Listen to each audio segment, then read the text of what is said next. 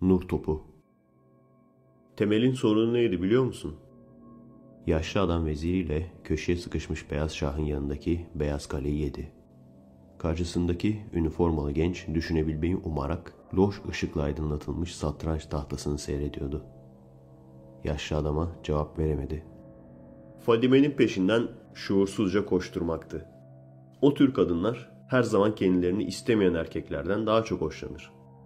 Temel'in Fadime'yi elde etmesinin tek yolu onu istememekti. Genç polis diğer kalesiyle yaşlı adamın vezirini yedi. Yaşlı adam oynayacağı hamleden emin bir halde konuşmaya devam etti. Onunla ilişkisini bir anda kesecekti.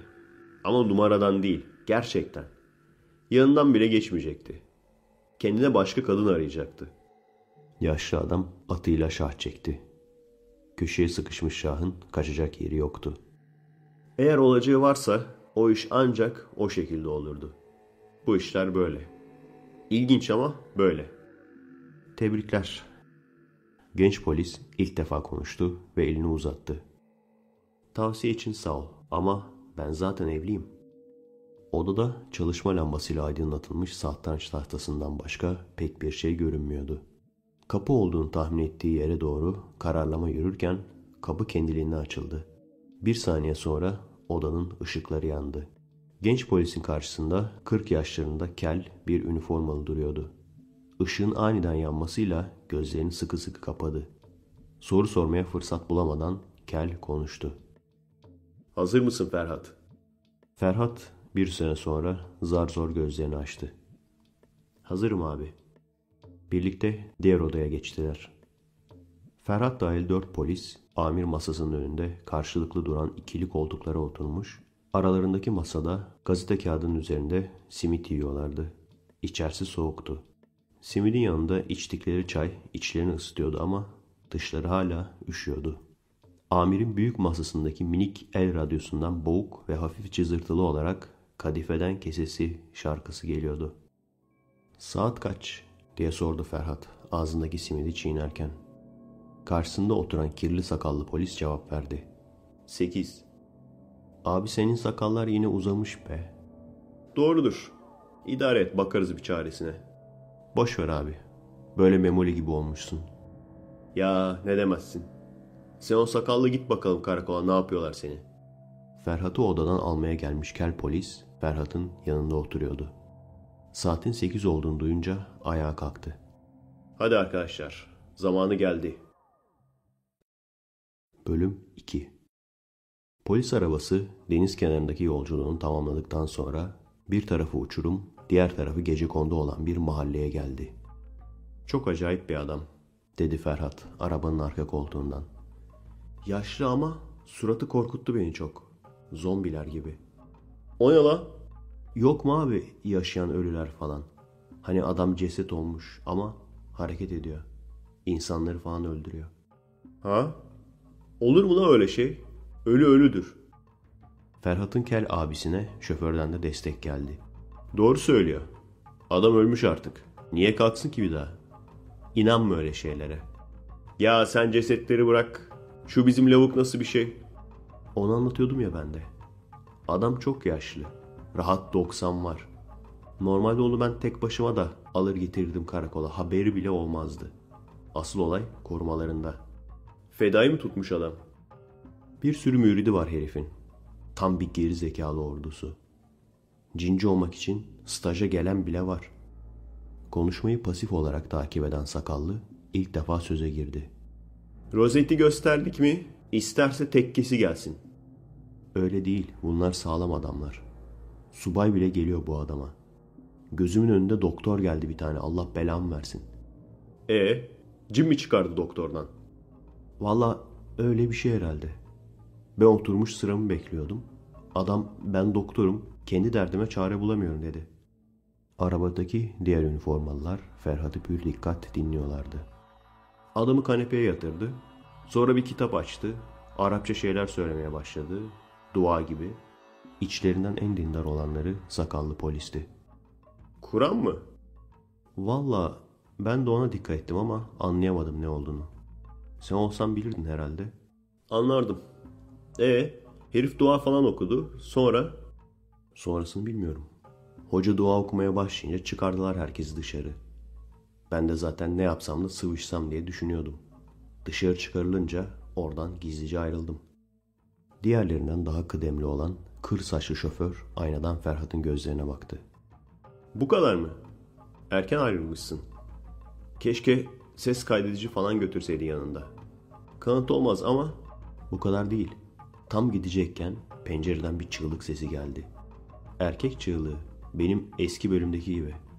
Araba uçurumlu gece kondu mahallesinde 3-4 otobüs durağı geçtikten sonra dar bir sokağa girip yokuş yukarı tırmanmaya başladı. Sokakta oyun oynayan çocukların kenara çekilmesi arabanın geçmesi için yeterli olmuyordu. Arabanın gelişini gören çocuklar bir apartmanın girişine sığınıp arabanın geçmesini beklemek zorundaydılar. Burası mı? Ferhat kafasını evet anlamında salladı.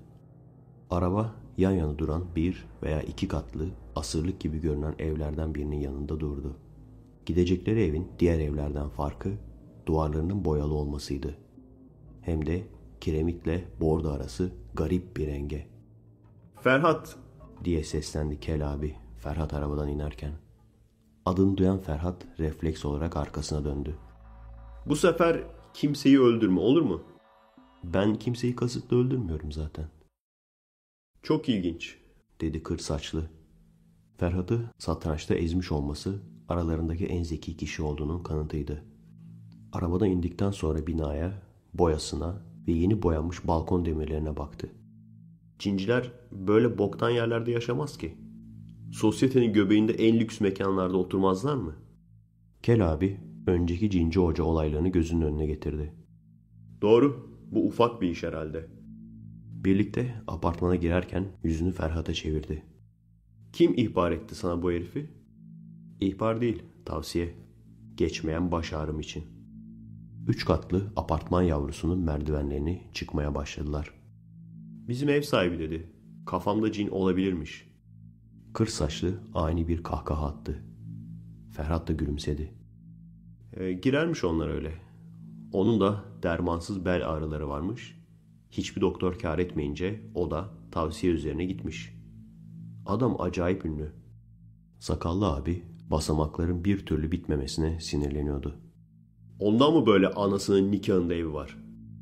Merdiven biter bitmez eli zile gitti. Ferhat elini tuttu. Kafasında bir şey var gibiydi. Böyle girmeyelim abi.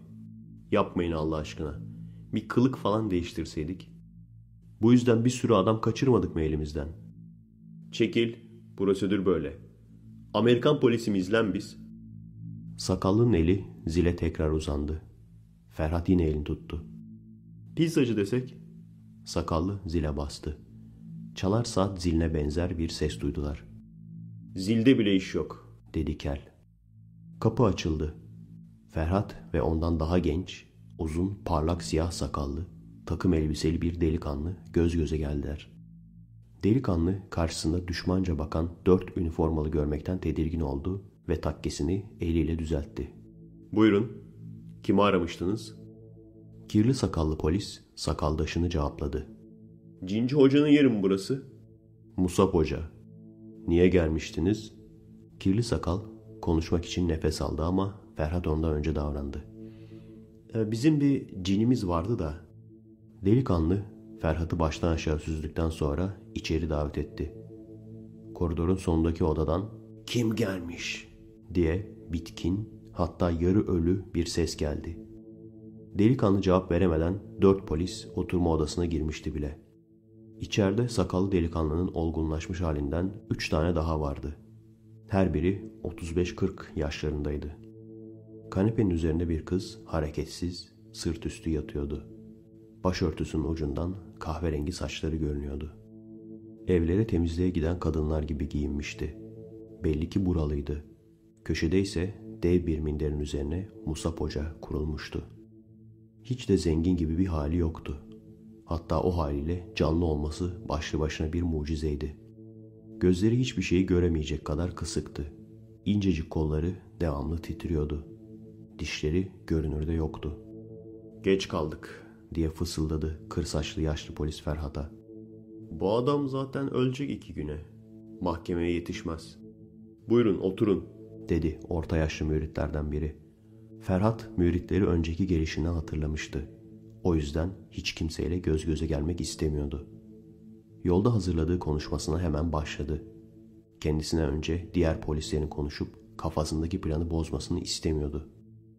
Ee, benim başımda çok şiddetli bir ağrı var hocam. Ev sahibimiz sizi tavsiye etti. Vallahi iş yapamaz oldum. Bir baksanız.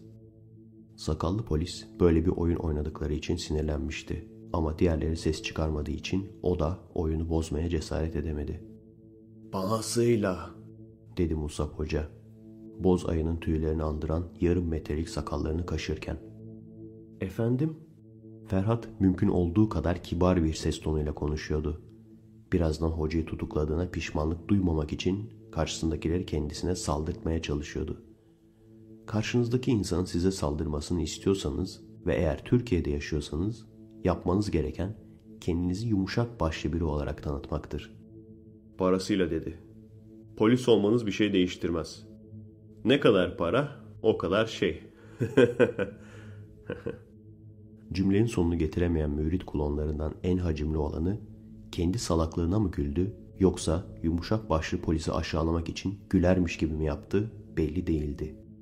Bu arada kır saçlı polis Ferhat'ı kulonların görmemesine özen göstererek dürttü. Gözüyle kanepeyi gösterdi. Ferhat'ın ölmüş olabileceğini düşündüğü kız yavaş yavaş titremeye başlamıştı. Diğer polislerin fark edemeyeceği kadar hafifti titremesi. Sanki üşüyor gibiydi. En azından canlıydı. Ferhat'ın ona aval aval bakmasından dolayı müritler de farkına varmıştı olayın. Bir tanesi Ferhat'la konuşan mıydı yoksa başkası mı belli değil. Hocanın kulağına eğilip bir şeyler fısıldadı. Sonra iki kulon şeyhin koltuk altlarından tutarak onu ayağa kaldırdı. Genç mürit de ayağa kalktı ve polisleri ''Lütfen dışarıda bekler misiniz? Hocanın işi var.'' diyerek dışarı çıkarmak istedi. Ferhat sebebini bilmediği bir suçluluk duygusuyla itiraz etmeden ayağa kalktı ama ne yazık ki sakallı abi onunla aynı fikirde değildi. Burada yeterince durduk zaten. Bizimle karakola gelir misiniz? diyerek elinde kelepçesiyle hocanın üzerine yürüdü. Ferhat polislerin bu çıkma teklif eder gibi tutuklama yapmasına alışamamıştı bir türlü. O küçükken hayalinde suçluları hep konuşmama hakkına sahipsin diye başlayan konuşmalarla konuşmama hakkının ne demek olduğunu bilmemesine rağmen tutuklardı. Sabırlı olmayan sakallı abine kızdı. Ayhan abi. Ayhan abinin işi tahmin ettiği kadar kolay olmayacaktı. Üniformalıların içinde en iri yarı olan Ayhan abinin önünü ondan daha iri olan delikanlı mürit kesti. Ne yapıyorsunuz? Musab Hoca havlayarak üzerine koşan bir köpek görmüş gibi korkup köşeye sindi. Konuşmayı kel devam ettirdi. Hepiniz karakola geliyorsunuz. Sahte hocalıktan. Gerçek cinci hocalık serbestmiş gibi. Siz kimsiniz de bizi? Kel'in sözünü kesen müridin sözünü Ayhan abinin silahının namlusu kesti. Musab Hoca arkadan anlaşılmayan bir Türkçe ile adamlarına direktifler veriyordu. Buna rağmen sesi değişmemişti. Hala acılar çeken bir ihtiyar tonundaydı. Siz delirdiniz mi? Allah'tan belanızı mı istiyorsunuz? Genç mürit kelepçelendiğine hala inanamıyordu. Şeyhini polislere karşı dokunulmaz bilmişti bugüne kadar. Genç kızın titremesi gittikçe şiddetleniyordu. Elleri havada olan mürit klonlar, elinde kelepçeyle Musab Hoca'ya doğru ilerleyen Kel abiye engel olamadıkları için çıldırıyorlardı. Yapmayın, çok kötü olur. Onu tutuklayamazsınız. Kel abi Musab Hoca'nın bileğini yakaladı. Hoca etrafı köpeklerle çevrilmiş bir kediye benziyordu. Kafasını şiddetle sağa sola sallayıp ''Üh! Üh!'' diye elinden şekeri alınmış bir çocuk gibi ağlamaklı yüzüyle Kel abiye itiraz ediyordu. Tam o sırada yine hiç kimsenin tahmin edemeyeceği bir şey oldu ve eli havadaki müritlerden biri ölümü göze alarak elini indirip hocayı tutuklamaya çalışan Kel abinin kolundan yakalayıp onu engellemek istedi. Kel abi kolunu kurtarmaya çalışırken müridin bir anda elini gevşettiğini hissetti ve klon yere yığıldı. Takkesi düştü, keli göründü. Sen işine bak Mustafa abi dedi Ferhat. Müridin ensesine kabzasını indirdiği tabancasını yerine yerleştirirken. Bütün takkeliler panik içindeydi. Sanki kıyametin kopmasını bekliyorlardı. Musab Hoca olması gerekenden çok daha fazla direnç gösteriyordu. Mustafa abi yaşlı adamın ellerini arkada birleştirmek için insanüstü çaba sarf etti. Hatta onu sabit tutmak isterken kelepçeyi elinden düşürdü. Hoca sanki birkaç saniyede Mustafa kadar güçlü olmuştu. Ferhat yerden kelepçeyi aldı. Ayhan abi silahının namlusunu müritlerin suretleri üzerinde devriye gezdiriyordu. Hoca devamlı kafasını sağa sola sallayıp ''Yapma! Yapma!'' diye bozuk bir Türkçeyle yalvarıyordu. Kızın titremesi aynı şiddette devam ediyordu. Ferhat hocayı kelepçelediği sırada arkasından birinin konuştuğunu duydu. İşi bitince arkasına döndü. Köşede eli havadaki müritlerden bir daha Arapça bir şeyler söylerken elini yavaş yavaş indiriyordu. Ayhan abi silahını ona doğrulttu ve görüntüsü üzerinde sabitledi. Takkeli başına gelecekleri bildiği halde Ayhan abiyi görmezden gelerek konuşmasını, sesini alçaltarak devam ettirdi ve yavaş yavaş yere çöktü. Ayhan abi ayağa kalk diye bağırınca elleriyle yüzünü kapattı. Sesi boğuklaştı ama birilerine dua eder gibi yakarışı devam ediyordu. Musab Hoca ani bir hareketle Mustafa abinin elinden kurtuldu ve topallaya topallaya dışarı kaçmaya çalıştı. Ferhat çabucak kendine geldi. Hocanın peşinden koşup onu sahaya inmiş bir holigan gibi belinden yakalayıp yere indirdi. Bu sırada odadaki bütün müritler, baygın yatan hariç, ellerini indirip aynı şekilde yere çöktü. Kır saçlı polis yerdeki hocanın yüzünü kendine çevirdi ve sağlığını kontrol etti. Sen bunu tut Yakup abi. Ben diğerlerine bakacağım. Bunun tutulacak yeri mi kalmış çocuğum? Yakarışa benzeyen duaların sesi gittikçe artıyordu. Konuşan müritlerin arasında bir senkronizasyon yoktu. Herkes kendi kendine kendi sözlerini söylüyordu. Yakup abi yüzüstü dönmüş hocanın göz bebeklerini kontrol ederken Ayhan yaşlı adamı ellerini birbirine bağlayan kelepçe zincirini kavrayıp yukarı doğru çekerek yavaşça ayağa kaldırdı. Takkelilerden bir tanesi hüngür hüngür ağlamaya başlamıştı. Üniformalılar kontrolü kaybettiklerini hissediyorlardı. Ayhan hocayı kelepçesinden tutup götürmeye çalışıyordu ama bunak herif kara sabana koşulmuş bir öküz gücüyle diğer tarafa yürüyor. Saban rolünü üstlenen Ayhan ayağının altındaki halıyla birlikte yerde kayıyordu. Hocanın yorgunluktan gerçek anlamda ölmek üzere olduğu çıkardığı acı dolu seslerden anlaşılıyordu. Mustafa yardıma gelip hocayı önden kapıya doğru ittirmeye çabalarken yerde çökmüş müritlerden biri daha ve yine silaha rağmen dışarıya doğru depara kalktı. Hocanın acılı inlemeleri Mustafa'nın müdahalesiyle birlikte gittikçe köpek ulumasına dönmüştü. Sanki sadist bir çocuk uyuz bir sokak köpeğini sopayla dövüyordu. Dışarı kaçan kulonun peşinden elinde silahıyla Ferhat gitti. Hoca deli gibi kendini sağa sola savuruyor Odadaki eşyaları yere düşürüp kırıyor. Yine de kapıya bir santim yaklaştırılamıyordu. Derin solukları odaya hakim olan dua ve ağlama seslerini bastırıyordu. Odadaki tek soğukkanlı kişi olan Yakup, kanepedeki kızın artık titremediğini fark edince yanına gidip nabzını tuttu. O sırada pencerenin dışından bir el silah sesi geldi. Bölüm 3 Ferhat bir anda durdu Silahı iki eliyle tutup nişan aldı ve ikinci kez ateş etti. Birkaç saniye duraklayıp ileri baktıktan sonra vurdum galiba deyip tekrar koşmaya başladı. Meslektaşlarına kıyasla oldukça diri olan vücuduyla yapabildiği en iyi şeyi yapıp hızını doruğa çıkardı. Önündeki kendi boyundan yüksek duvara sıçrayıp iki hamlede üzerinden geçti ve diğer tarafa indi. Bir çıkmaz aralığın çıkmaz tarafından içeri girmişti.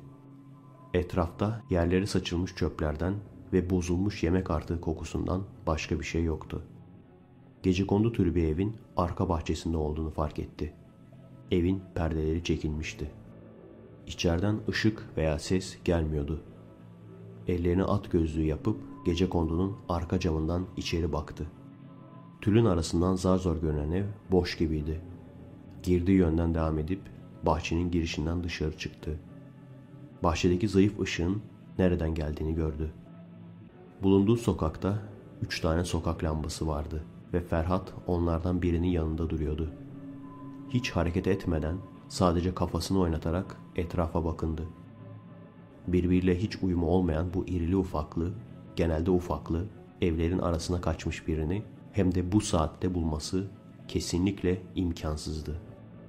Allah kahretsin dedi ve çıkmaz aralığın çıkmazına geri döndü. Kan izi bulmak ve takip etmek fikri aklına sonradan gelmişti. El feneriyle yerleri uzun uzun inceledikten sonra yere çöküp kan olabileceğini düşündüğü izleri kontrol etti. Yere yaklaştıkça sulu çöplerin kokusu dayanılmaz oluyordu. İzlerin kan olup olmadığı anlaşılamazdı ama bu izler küçük bir doğru oluşturuyordu ve bu doğru parçası üst üste yığılmış çöp torbalarının yanında sona eriyordu. O çöplere dokunmayacaktı. Biraz düşündü. Sonra etrafta sopaya benzeyen herhangi bir şey aradı. Bahçenin köşesine üst üste yığılmış çürük tahtalardan birini alıp çöp torbalarını eşeledi. Çöplerin arasından ne olduğunu anlayamadığı küçük bir şey fırlayıp kaçtı. Farelerden çok korkuyordu. Kaçan şeyin fare olmamasını umarken tahta sert bir şey buldu. Çöpleri ve açık kapalı çöp torbalarını biraz daha kenara itip el fenerini yakarak bulduğu şeye baktı. İçi dolu bir pantolon bulmuştu. Feneri ağzına aldı ve tahtayı iki eliyle tutarak çöpleri hızla kazdı. Işığı gören sıçanlar karanlığa kaçıyordu. Pantolonun sahibinin hemen hemen bütün vücudu ortaya çıkmıştı. Ağzındaki feneri vücudun kafasına çevirince sakallı yüzü gördü. Bu o kaçan klon olmalıydı. Kesin emin değildi. Çünkü sakalından başka bir yerini hatırlamıyordu. Gözleri açık bir ceset gibi sabit bir şekilde havaya bakıyordu. Bacağının kanayan yerini bir fare kemiriyordu. Tahtayla fareye bir golf topu gibi sertçe vurdu. Sıçının kemirdiği yerde kan ve etin arasından kemik gözüküyordu. Klonu tahtayla dürttü. Adamda en ufak bir hareket yoktu. Telsizini alıp kulağına götürdü. Konuşmaya başlayamadı. Çünkü sokağın bir yerinden hatta belki de hocanın evinin bulunduğu taraftan ard arda patlayan silah sesleri duydu. Zaten yeterince gerilmiş olan vücudu aniden gelen gürültüyle kopma noktasına geldi. Has siktir. Daha önce rahatça çıktığı duvarı bir türlü aşamayan Ferhat, duvarın diğer tarafının daha yüksek olduğuna kanaat getirdi ve tekrar depara kalkarak bahçenin girişinden çıktı. Ama çıktığı gibi de kayboldu. Heyecandan kendi salaklığına gülerek ışıkları yanan ama neci olduğu anlaşılmayan bir dükkana daldı ve içerideki adama Cinci Musab Hoca'nın yerini sordu. Adamın tarifine bakılırsa yanlış yöne gitmişti. Dışarı çıkıp sola dönülecek camiyi ve sağa dönülecek gece kondu inşaatını buldu. Aradığı üç katlı gece kondu karşısında duruyordu. Evin arkasından gelen şiddetli cam kırılması sesi sakin sokağı ikinci kez inletti. Olayı kaçırmak istemeyen Ferhat hızını iyice arttırdı. Diğer evlerin sönmüş ışıkları bir bir yanıyor, insanlar balkonlara, kapı önlerine çıkıyorlardı. Binanın girişinde bir mürit yüzüstü yatıyordu. Ferhat hiç durmadan müridin üzerine atladı ve içeri girdi. İlk gelişinde bir türlü bitmeyen ve basamakları üçer dörder hatta beşer tırmanıp açık kapıdan içeri daldı. İçeride herkes ölüydü. Bölüm 4 Yakup kızın nabzının atmadığını söyleyemeden pencereye koştu. Ferhat! Diye karanlığa bağırdı. Ona cevap olarak bir el silah sesi daha geldi. Kanepeye hareket etmeyen kızın yanına oturdu ve telsizini eline aldı. Aletin düğmesine bastı ama ağzını açamadan tekrar ayağa fırladı.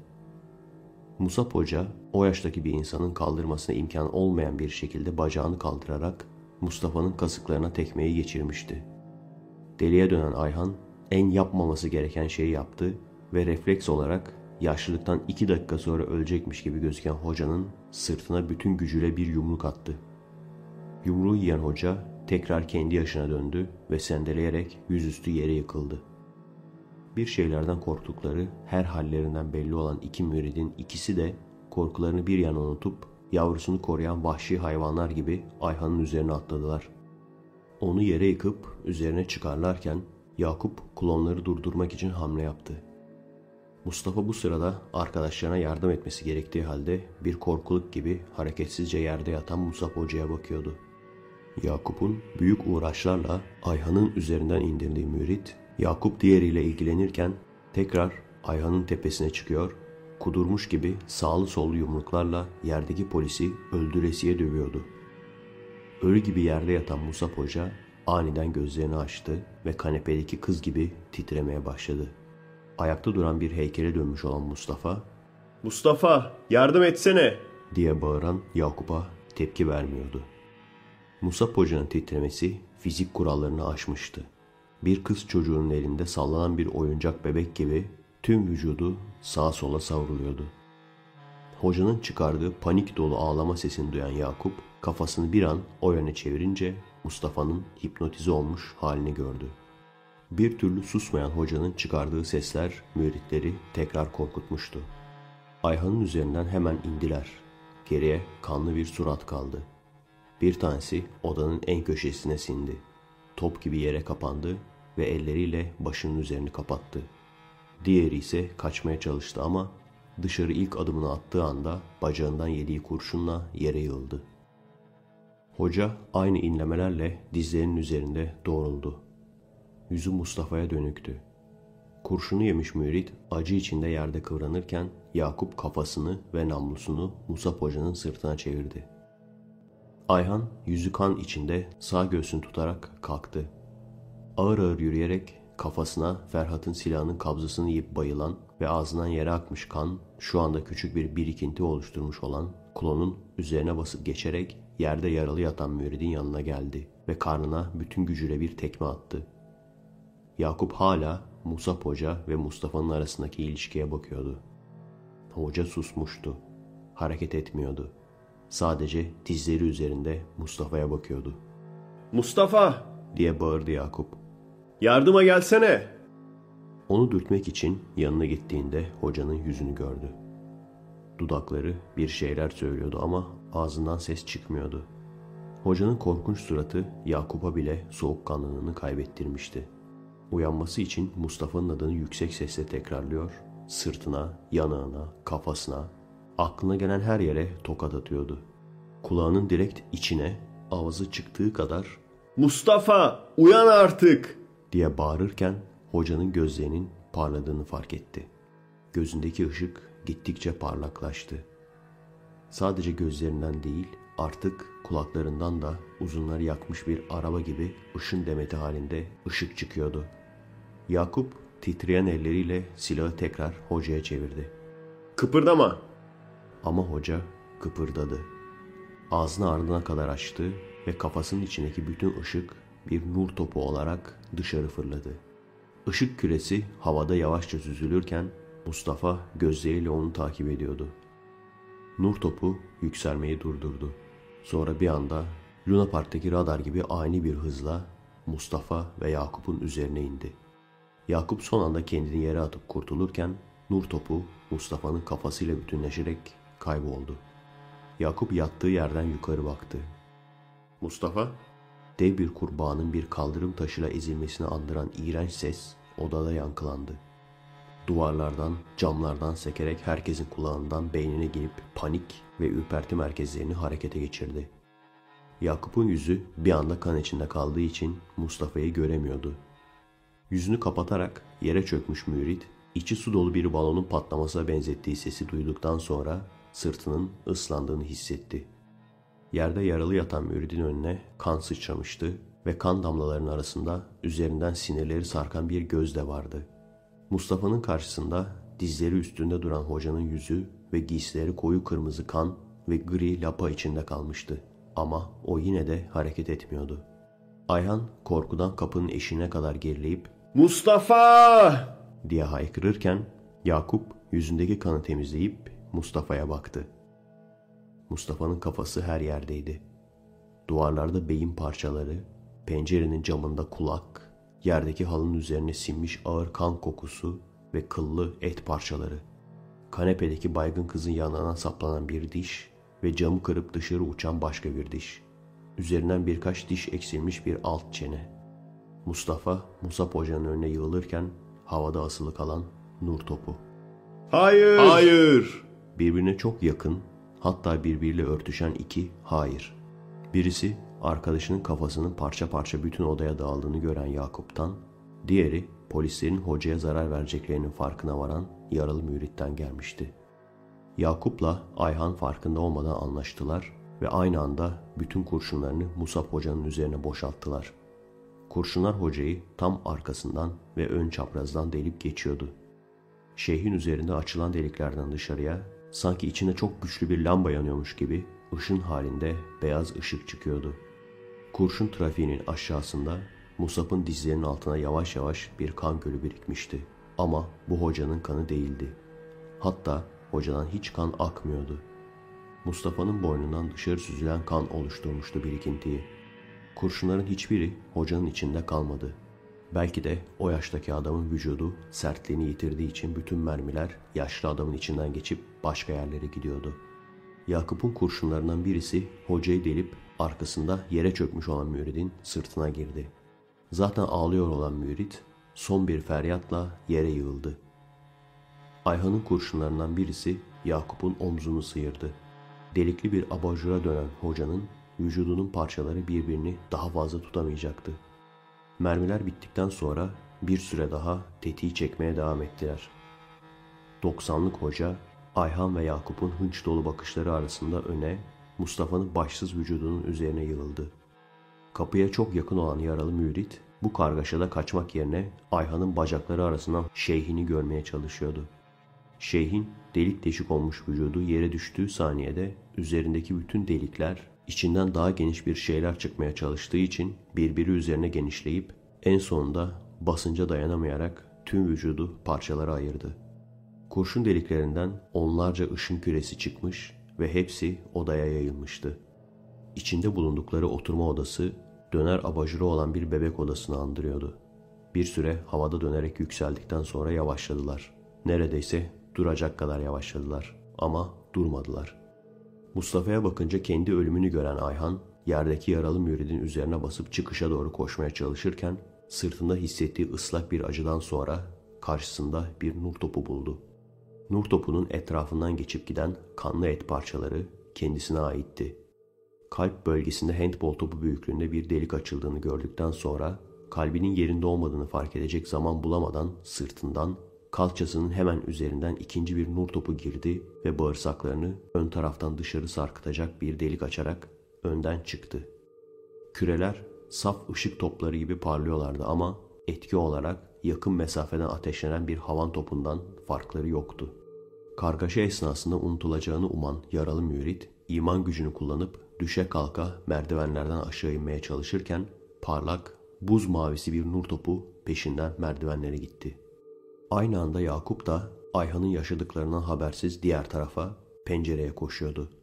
Aşağı atlamayı başarırsa üçüncü katta olduğu halde küçük bir ihtimalde olsa hayatının geri kalanını sakat geçirecek bile olsa hayatta kalması için bir şansı olabilirdi. Pencerenin camını parçalayarak kendini dışarı attı. Eğer daha önceden ona ölmeyi mi tercih edersin, hayat boyunca sakat kalmayı mı diye sormuş olsalardı, o da çoğu insan gibi tabii ki ölmeyi. Sakat kalıp her gün öleceğime bir kere ölürüm daha iyi derdi. Hem de Yakup gibi bilgi bir insan olduğu halde. Çünkü insan evladı hiçbir zaman ölüme hak ettiği ciddiyeti göstermez. Ölüm gerçekten kapıya dayanana kadar bunun bir oyun olduğunu sanar. İntihar eden insanlar bile hayattan ne kadar nefret ederlerse etsinler, ölümden dönüş olmadığını anladıklarında, boşluğa atladıklarında, hapları yuttuklarında, bileklerini kestiklerinde yaptıklarına pişman olurlar. Ama artık çok geçtir. Onları intihara sürükleyen pişmanlıklarına gider ayak bir tane daha eklerler. Ölüm ne yazık ki şakadan anlamaz. Yakup kendini dışarı attı atmasına ama uçan ışık topları Yakup'tan daha hızlıydı. Yakup pencerenin dışındayken henüz irtifa kaybedemeden sırtından içeri diğerlerinden daha büyük bir ışık topu girdi. Ama hiçbir şey olmamış gibi vücuduna yayıldı ve bir süre sonra kayboldu. Hatta söndü. Ama bu Yakup kurtulacak anlamına gelmiyordu. Çünkü hızlanarak irtifa kaybediyordu. Belki betona düşmek kadar sert bir iniş olmayacaktı ama altında duran araba Yakup'un alacağı hasarı engelleyemezdi. Arabanın üzerine yüzüstü çakıldığı anda bütün camlar arabanın içinde bir ses bombası patlamış gibi tuzla buz oldu. Kırmızı Renault 12'nin tavanı koltukların seviyesine kadar inmişti. Yakup bir daha kıpırdamadı. Odadaki onlarca nur topu konumlarıyla aynı doğrultuda yavaş yavaş dağıldılar. Kimi pencereden dışarı çıktı ve karanlık gökyüzünde gittikçe şeffaflaşarak kayboldu. Kimisi duvar, kimisi tavan, kimisi de yerle bütünleşerek yok oldu. Hemen ardından Ferhat nefes nefese içeri girdi. Bölüm 5 Yakup abi aşağıda. Bir arabanın üzerine düşmüş. Dedi Ferhat kendisi gibi ameliyat maskesi takmış üniformalılardan birine. Gerçi o basit maskeler odadaki mezba kokusunu azaltmaya bile yetmiyordu ama en azından nefes almayı güçleştirdiği için içerisini daha dayanılır hale getiriyordu. Mustafa'nın başsız vücudunun üzerine yine birisi kustu. Ama bu sefer ağzından maskeyi çıkarmaya vakti olmadığı için kusmuklar ameliyat maskesinin kenarlarından püskürdü. Allah kahretsin diye bağırdı Ferhat maskenin ardındaki boğuk sesiyle. Çıkarın şunu dışarı. Zaten içerisi yeterince berbattı. Kimin vücudu kime ait belli değildi. Bütün bunların nasıl olduğu hatta nasıl olmuş olabileceği de belli değildi. Şeyhten arda kalanlar odaya yer yer dağılmış eski bir mumyaya ait gibi görünen kuru et parçalarıydı. Diğerlerinin vücutları ortadaydı. Görevlilerden biri üzerinde birkaç diş bulunan alt çeneyi lateks eldivenle tutarak diğer elindeki poşetin içine atarken yerde yatan ve kafasının yanında bir kan gölü oluşmuş müridi fark etti. Cesedi incelediğini gören Ferhat'ın aklına silahının kabzası geldi. E, nasıl ölmüş? Kafasına sert bir cisimle vurulmuş. Sonra da ölmüş. Vay be. Ferhat şaşırmış bir yüz ifadesiyle kafasını salladı. Bu ne? diye sordu maskeli bir üniformalı. Avcunun içinde kırmızıya boyanmış gri bir pelte tutarken. Çek şunu başımdan. Neyse ne. Ferhat da kusmak üzereydi. Tuvalete gitmek için kapıdan çıkarken aşağı inmiş olan üniformalı basamaklardan koşarak çıkıp Ferhat'a çarparak durdu. Yakup Bey yaşıyor. Ferhat Yakup'la aşağıda karşılaştığında sırtında kahverengi sivil bir ceketle kaldırımda oturuyordu. Hemen yanındaki yarı hurdaya dönmüş kırmızı arabanın başına 3-4 sade vatandaş toplanmış, göz kararı hasar tespiti yapmaya çalışıyorlardı. İçlerinde en telaşlı gözükeni büyük ihtimalle arabanın sahibiydi. Abi kaç paralık hasar var şimdi bunda? Ne parası lan göçmüş araba. Verirler abi merak etme. Nah verirler. Vermezler abi gitti senin araba. Bizim arkadaşın Skoda ya da belediye otobüsü gibi sözlerin arasından geçerek Yakup'un yanına oturdu Ferhat. Nasıl oldu abi? Yakup konuşmadan karşısındaki arabayı seyrediyordu. Ferhat koluna girerek Yakup abisini kaldırdı. Geldikleri polis arabasına doğru ağır ağır yürüdüler. Saat biri geçiyordu. Nereye gidelim abi? Karakola. Evet arkadaşlar, uzunca olan hikayelerimizden bir tanesi yine. Daha önceden eski teknolojiyle seslendirmiştik. Şimdi daha iyisini yapalım dedim. Sıradan böyle gitmeye devam edeceğiz. Filmini çekmeyi çok istediğim bir hikaye aslında. Ancak şu anda teknolojim yok buna. Çünkü hikaye yazdığım zaman fan footage olayı çok çok yeniydi. Ben de bunu fan footage olarak çekmek istiyordum. Şimdiki gibi boku çıkmamıştı yani. Fan footage olarak çekeceksen hiç bir arada böyle kesinti falan yapmamak istiyorum. Bir anlamı olsun diye. O yüzden şu anda çok zor. Bizi aşar yani. İleride teknolojimiz, imkanlarımız daha iyi olursa belki yaparız. Yapmak isterim açıkçası. Kendinize iyi bakın arkadaşlar. Bir sonraki hikayemizde görüşürüz.